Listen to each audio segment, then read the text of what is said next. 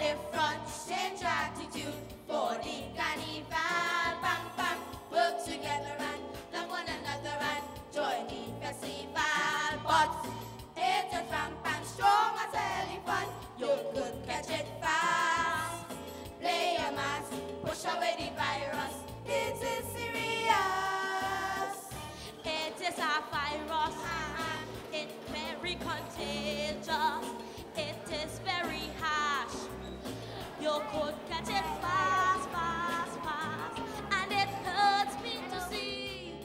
my Trinbagonian family Dying one by one when this madness go down. I, I know someone with AIDS. Yes, I have a friend who is suffering from AIDS. Actually, my neighbor has AIDS. Well, I live in a neighborhood that a lot of people have AIDS. Yeah, one of my cousins has AIDS. Actually, I had a brother with AIDS. My cousin have AIDS and yes. she died from it. And she have a little daughter who died after. And her husband died after the daughter. Of course, I have. We have students in school with AIDS. I have a child who is HIV positive in my school. Listen, children turning orphan, cause they had no parents. Extended families poor, they can't help them no more, more, The goals of the contest are to increase the awareness about the disease in the eyes of children, thereby reducing the stigma attached to the disease. Let's all remember the virus is the enemy, not the people who have it. Hello, everybody. We welcome you. We're going to have so much fun this morning because we want you all to listen to all the lyrics, all the drama that's going to happen. Are we having a good morning? Say yeah, yeah.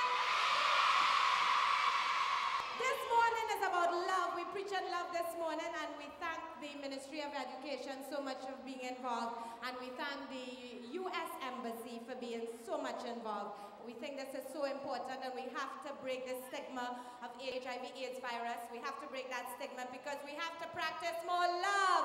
Let me hear you say more love. Right? Are you ready for the competition?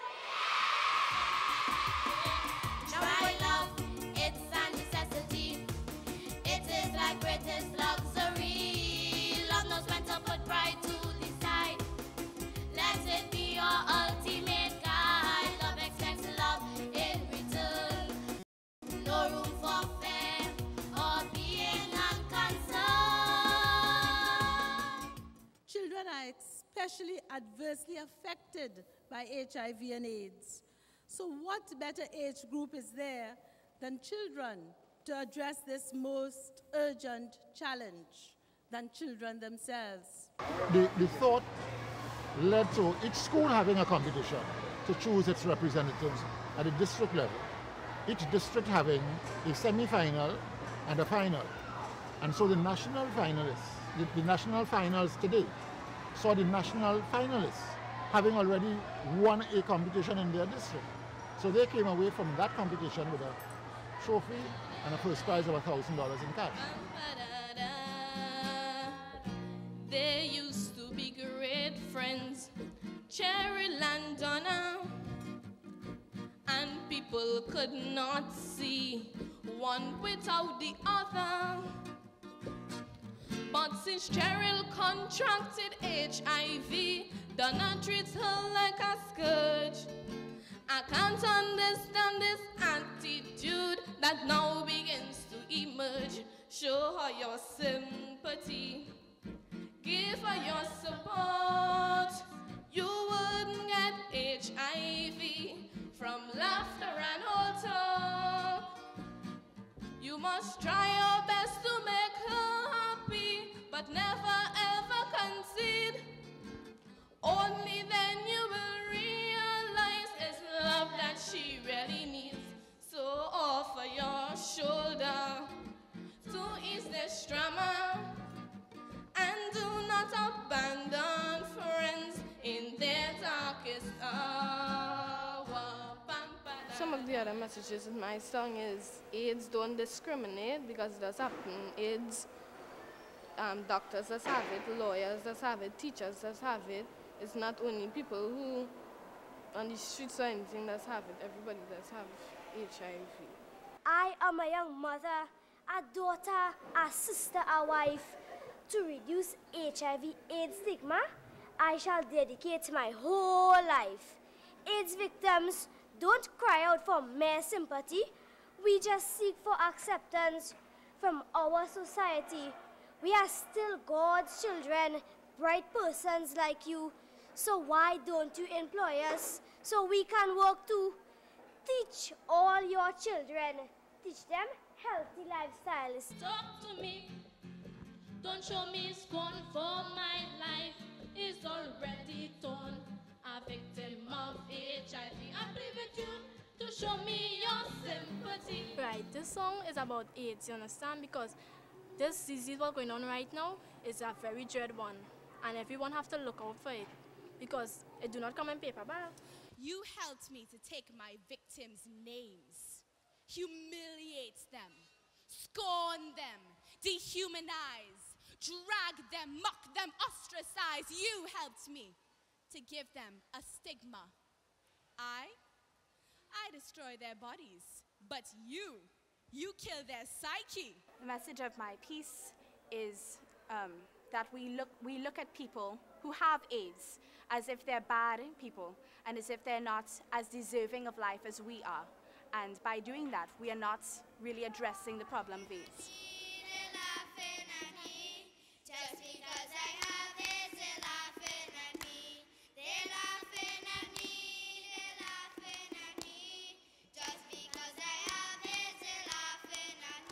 They said they wanted a verse or song or rap or anything like that, so we mainly combine it. We came up with the um, ole mas. It hurts when you call me names. I cry when I'm excluded from games. I feel pain when you talk about me behind my back. Well, I am the HIV victim and I'm most mainly trying to tell everybody else, don't shun anybody with HIV. Don't treat them like trash because there's like everybody else. Everybody, all of us are humans. All of us are people. But what gives you the right to refer to me as the age child? Do you think I woke up this morning and decided that I wanted HIV AIDS? I most certainly did not. Don't judge me. You don't know. I didn't plan for this to happen. I didn't want this horrible disease. And now that I've got it, I have to deal with it. It's actually a monologue. It's a how do you look at a child with HIV AIDS? It's really to interact with the children, with the people who, who are affected with HIV AIDS and how it affects them and how you could react to them if you meet a person with HIV AIDS. Look at me, I am only a child. If I were your child, would you still look at me and turn up your nose? I see that look in your eyes. I don't live on a toilet seat. I get me from someone's hand or feet. Don't like to swim wrong in water. It's really a blood that I'm after. Ah. Don't you take them on, you know. I don't live with mosquito boy. If you really want me near, go and live without a care. Peace is the same thing. Well, mostly to tell you about how people should have love no matter what's about AIDS. People should have kindness to people although they have AIDS. And they should be, we are all still one family and we should know that in TNT. I'm doing a, a rap. It's about the AIDS stigma. I'll put it in a position that I got the AIDS and ways how I could stop it and talk to others. When I was about 10 years or so, just a little boy, my heart was filled with love, filled with so much joy because I had my friends and my family together. Feeling out of the world, light as a feather, but then it had a style. Going on in school, having a girlfriend seemed to be cool, so eventually I got one of my own, but she mainly liked me for my cell phone. After a year, we got much closer. Every evening she came over. had it a hug and we kissed too. To me, it was like a dream come true. But one day she came to spend the night. I don't know what happened when we turned off the light. Can't remember what we had done. But the next day my virginity was gone. Now my parents they want, to kill me because the doctor say I have HIV. My mother don't even drink from my, glass. Nobody talk to me when I, go, to class. Even when I walk, people, keep their distance. Just for a mistake Yeah, that I made yeah, once. but I'm ordinary. I'm a human just like you. But I'm ordinary. I have feelings too. But I'm ordinary. Just one mistake I made. Now, my, reputation, is in the shit. But I'm ordinary. I'm a human just like you. But I'm ordinary.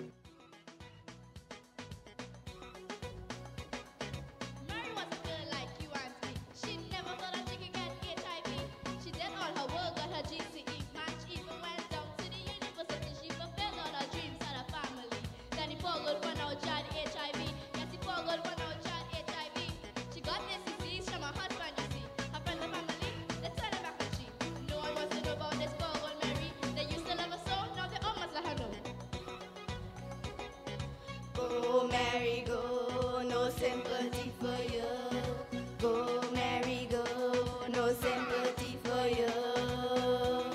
I don't know anybody with AIDS, but I think they should be treated like everyone else, the same normal way.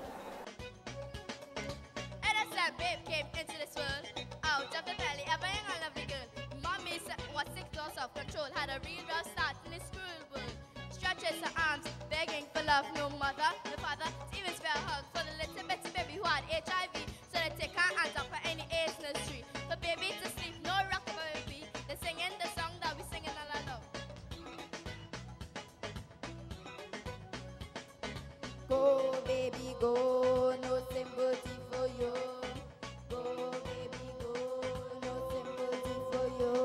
This competition is important because the reality is that we are now living with quite a number of school age children who are victims of the virus and uh, because of ignorance they are treated abominably.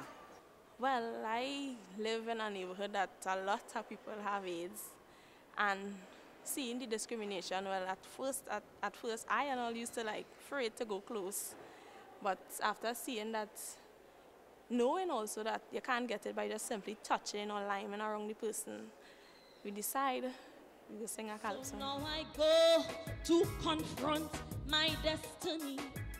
And you must know I do so fearlessly.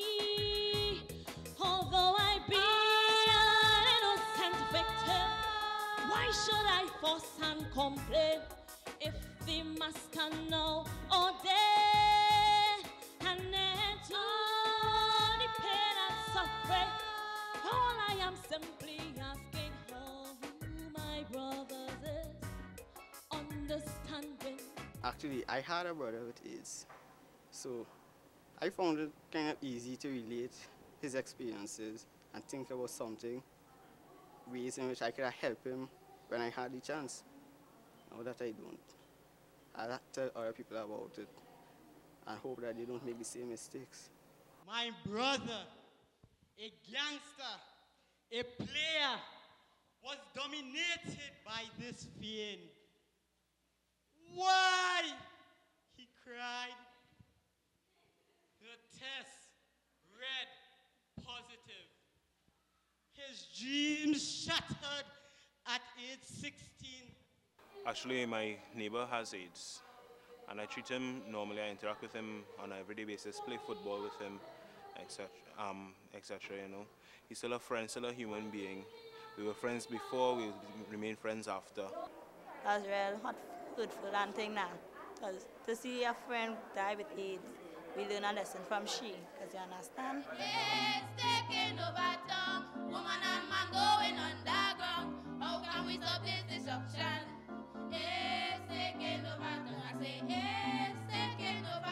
Okay, well, my piece was written, well, I wrote it with some help from my mom. It's supposed to be a piece written to help to reduce the AIDS stigma in Trinidad and Tobago because currently we have a lot of people in Trinidad and Tobago suffering with this AIDS virus and the discrimination against them is very great. And they are human too. They have rights. They deserve to be treated as normal. She went on to tell me about HIV transmission. Since the people in this country have so much misconception. Some say it's caused by kissing, mosquitoes, even shaking hands. There's so much wrong information in both islands. AIDS can't be caught by ordinary social contact. You could live in the same house with a carrier. It's a very safe act. AIDS can't be caught in school or in the maxi, neither in the market or workplace. It's not that easy. She said there's no problem with hugging or kissing on the forehead. You could even share towels and sleep on the same bed. I asked her how AIDS is spread before she could go any further. Boy, she had the answer on the tip of her finger. One was unprotected sex with an infected partner, and the other was an unborn baby getting it from its mother. If you use a needle from someone who is already infected, and then remember, blood transfusion policies are not always heeded. Are we having a good morning? Say yeah, yeah. Our third contestant is a whole choir, a choral speaking. A whole set of them. Send them down this way for me. Contestant number three, they're coming to do Open the Door to AIDS, a group presentation from the Patna River Estate Government School representing the Port of Spain and Environs Education District. Put your hands together. Let's welcome contestant number three. Knock, knock, knock, knock, knock. I'm a child. My origins, race, age, sex, nationality, or color do not matter. What matters is this. Rap, rap, rap, rap, rap, rap, rap, rap, rap, rap. I am H I V positive. I have AIDS. Bam, bam, bam, bam, bam. Everywhere I turn, I'm stigmatized. My friends scorn me. My teachers, who should be educated, they talk about me. But if they only know, there wouldn't be this great deal of fear. They really won't treat me so. She's a child, yes, but she has feelings. She's a human with ideas, thoughts, expressions, and opinions. She has a right to be treated with respect and privacy. In schools, there should be an HIV AIDS policy. Well, what we kind of zeroing on was having a policy in school, you know, so that we wouldn't prevent anybody, any AIDS victim, from being enrolled in our school. And they learn that if one should come to our school with AIDS, we will welcome, we'll accommodate them, we'll embrace them. And we have a Mr. Aaron Charles from the Torib Trace Presbyterian School coming to do AIDS. AIDS, avoid impulsive disease stigma. Show Aaron some love. Contestant number one. You see me, look at me. Take a good me. Anything wrong with me? Not one thing wrong with me as far as you could see. But nobody want to play with me. Nobody wants to sit in my desk. This eh, is a big risk. You know why? I have it. You know, I don't blame them for their dread. They don't know how it is spread. They don't know it's not my fault that at birth this was the result. no education plan in place, this ignorance is such a disgrace. As he said in the poem too, education is the key to unlock that door of complacency. I think a, a national-wide education policy is needed. We have Scarborough RC School, our winners for today's national finals. I am H. I represent the human being. I am I. I represent the immune system. I keep her alive. I help resist disease and infection. I am V. I have a fatal attraction to people. I am transmitted by body fluids and body secretions during sexual intercourse and blood. I invade H. I fool the soldier cells in H's body and I hide there until slowly and surely I penetrate her defense and begin destruction of her immune system. I am AIDS. I have AIDS. It is my immune system that the virus is destroying. How did I get AIDS? Do you think I got it by sharing a drink with someone? No. Did I sit on a seat that another AIDS victim vacated? No. Was I hugged by another victim of AIDS? No. Did I hold their hand? No. Remember, the only way you can get AIDS is by exposing yourself to the body fluids of an AIDS victim. Why then do you scorn me? I'm quite pleased to say that at Scarborough RC School, these, this particular bunch of children have been doing AIDS prevention from Standard 3. So they have been into it for one year already. So it was not difficult to get them into the part at all. We took it from education. If people know, then there would be no need to stigmatize. So that was the whole thing education. And then if you know, you will understand that just by holding hands or hugging somebody or something like that, you cannot contract the virus. Isolating yourself from AIDS victims is not the answer either. We, we have to get involved and show that we care. The movement is on, people. Come forward and let us deal with prevention and treatment of AIDS. Join the band and keep AIDS off this land.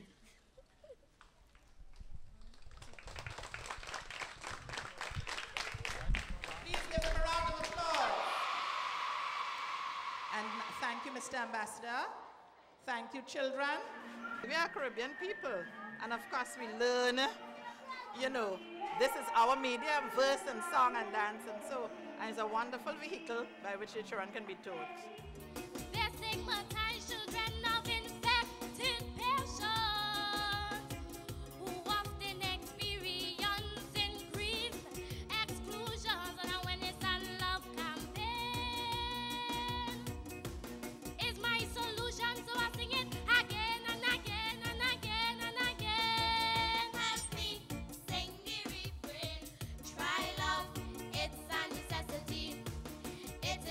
Greatest luxury. Love knows when to put pride to the side.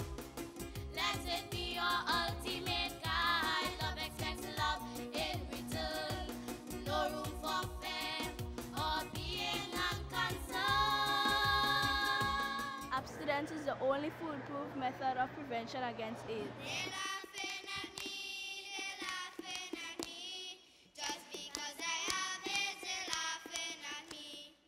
I think they should be treated like everyone else, the same normal way. Please, please don't make a fuss. This disease affecting all of us. When you turn up your nose and move away, you make me feel shame and cause a lot of pain. We all still have to live as one, one nation under this blessed sun. So come to your hand and walk with me. Let's show the meaning of unity. Stay away from sex because people just want to rush into it just because their friends and them do it. Don't follow your friends. Your friends and them, them don't know what, what they're saying. Them go do it and then after them go suffer these consequences later on in life. So offer your shoulder to ease this drama and do not not abandon friends in their darkest hour. Everyone, be protected. Use condoms and try and stay away from that disease. Talk to me. Don't show me scorn for my life is already torn. Abstain. If you can't abstain, be safe. At least be safe. Imagine if you was in my place when nobody wanted to see your face. Having AIDS doesn't change anything about the personality, the same person. Make a difference, change attitude for the carnival. Bam, bam. AIDS is a thing you have to be careful of. When you're making love or sex, make sure and you do it the right way. Don't have no other sex but the one you are making love with. Remember, peace out from AIDS.